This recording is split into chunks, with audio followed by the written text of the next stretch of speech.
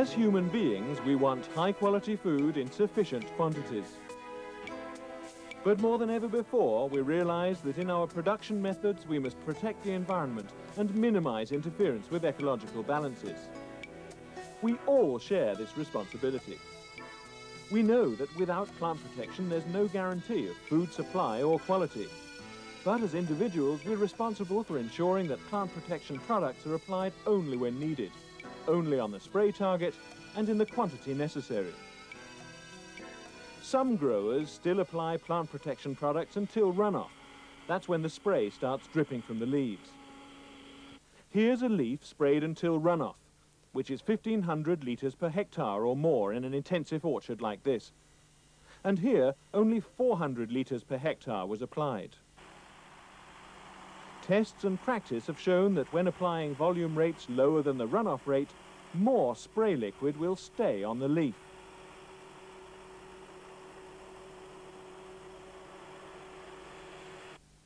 Because foliage density increases during the season, the volume rate should increase accordingly.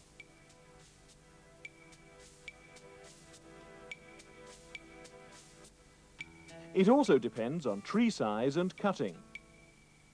To find a suitable volume rate, use chemical label, extension service and your own experience.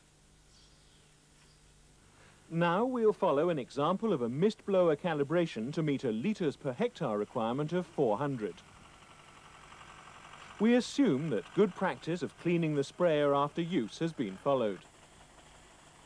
Half fill the sprayer with clean water First, we consider forward speed and air volume, which are closely connected to each other.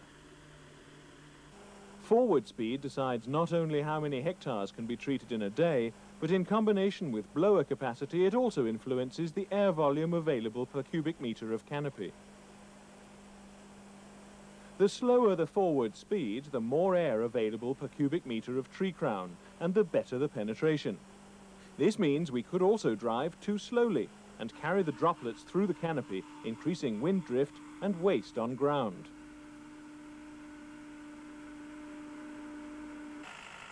To follow good practice, the forward speed should be around 2 to 5 kilometers an hour. Our blower belongs to the larger category, so we decide to work at around 5 kilometers per hour. Based on the aim of replacing the still air in the canopy with moving air carrying droplets from the sprayer, there's a formula to calculate how much air volume we need for our 5 kilometers an hour. The calculation of air volume to be moved considers row width times tree height and forward speed. The actual size of canopy within this area is not considered. Naturally, the bigger the canopy and the higher the forward speed, the more air is needed. But the formula is still of value as a general guideline and starting point when adjusting the blower to a specific spray job. For a normal density canopy, we can use this formula to calculate the air volume needed to suit our speed. Speed times spray width times tree height times 1,000 divided by 3 equals the required air volume in cubic meters per hour. We have to know the dimensions of the tree row that we want to penetrate with the spray. If driving in every row, spray width is equal to row spacing. Measure tree height and spray width. 4.5 metres high and 4 metres spray width.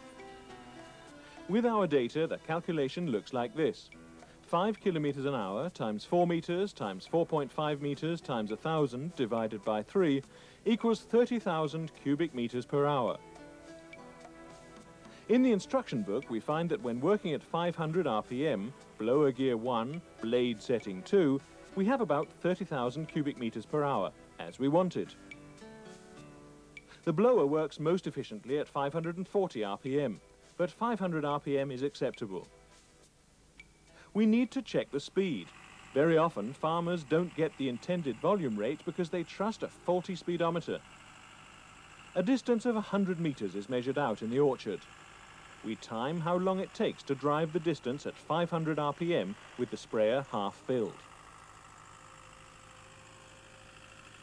Distance in metres. 100 metres times 3.6 divided by time in seconds gives the driving speed in kilometres an hour. On the rear of the mist blower calibrator, the calculations are already made.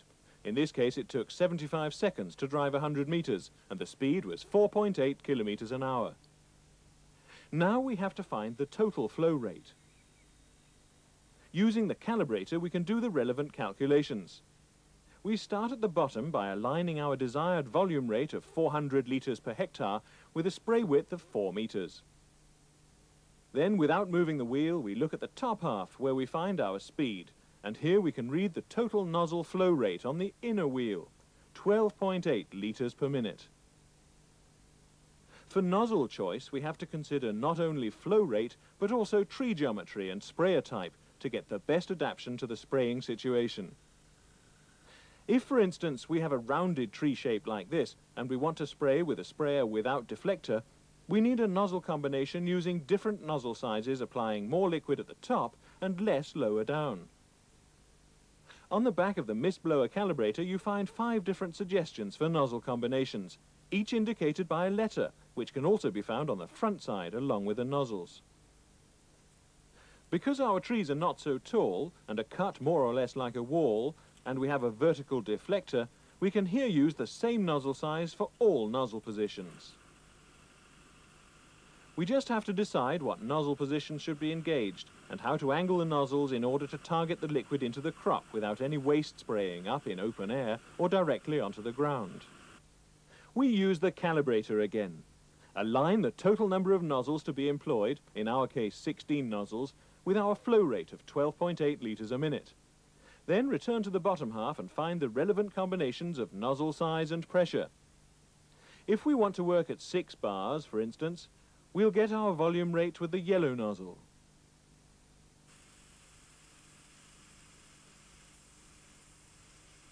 Do a visual check. Are all the nozzles functioning? If any nozzles are blocked, remove them and clean with a toothbrush. To find the flow rate per nozzle, simply look at the number of nozzle equals 1, the jug symbol, without turning the wheel. 0.8 litres per minute. Now check the nozzle output on the sprayer. Disengage the blower and fix a hose on the nozzle. Turn on the sprayer and set pressure. Make sure this is done at the 500 RPM that we decided to use earlier in order to get the right air volume. If possible, turn off all nozzles except the one to be checked. Collect nozzle output for one minute. Check if flow rate is identical to that needed. Measure at least three nozzle outputs, representing each side of the mist blower. Our average was 0.75 litres a minute, which is a little lower than what we wanted, presumably because of a minor pressure loss from gauge to nozzles. If we're not spot on the intended nozzle flow, we can either readjust pressure until we get the right flow rate, or use the actual measured flow and find the corresponding volume rate on the mist blower calibrator. If the nozzle flow is more than 10% over the calibrator value, it's time to change nozzles. To make an air distribution test, attach ribbon to upper and lower deflectors or spouts. Adjust deflector until the ribbons are aligned with top and bottom of canopy. Drive at the calibrated forward speed. Check with the ribbons that the air is still directed only to canopy and covers all the canopy. A rough way of checking liquid distribution is to look at the spray cloud against the sunlight. With spray test paper, we can more precisely check that spray liquid is restricted to the target area and evenly distributed within the canopy. Place a pole in the middle of the row on each side of the sprayer and some on the outside of the same rows. This way we check distribution from both sides of the sprayer. Spray test paper has been fixed with double-sided tape at 50 centimetre intervals, from 50 centimetres below to 50 centimetres above the canopy. All papers must be facing the driving lane. To check ground deposit, fix paper on something heavy and place on ground under trees and between rows. Spray with the calibrated setting.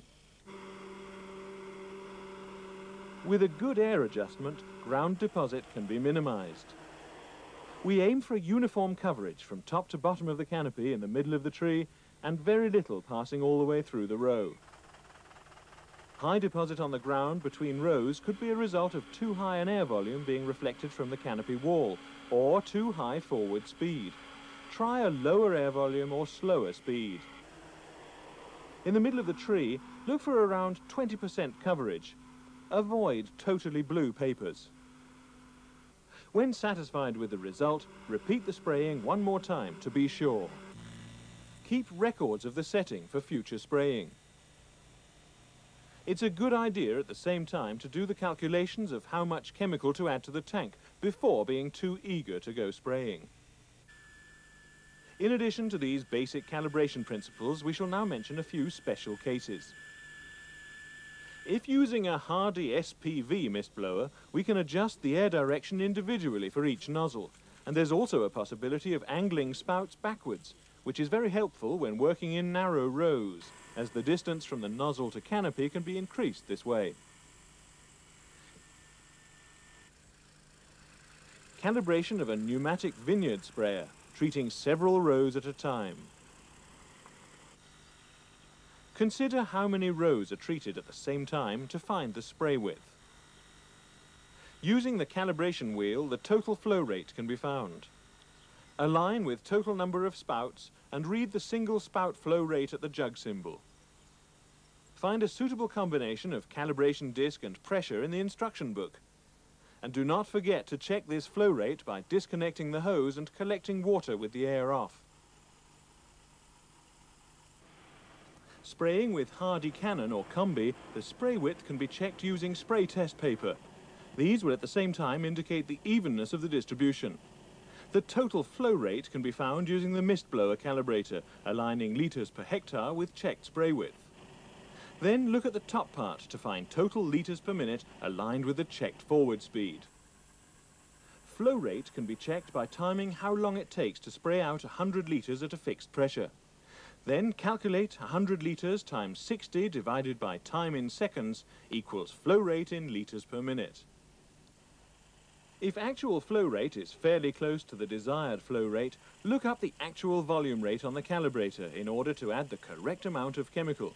Otherwise, readjust pressure. Key words in calibration. Forward speed must be adjusted to blower capacity and crop and field conditions, and it must be checked. Remember, slow speed gives better penetration, higher and further reach. Blower air. Try to restrict the blower air to the target area to avoid drift and ground deposit. Total flow rate must be adjusted to the spray job and checked.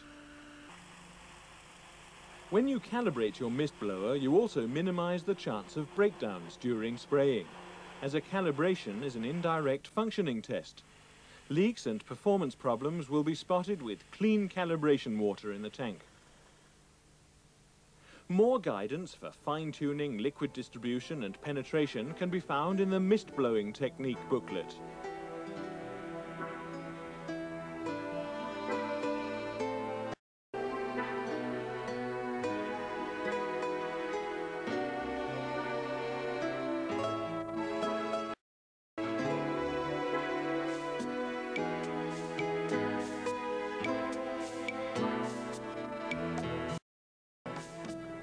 With a calibrated sprayer, you can minimize costs and increase profits without harming the environment.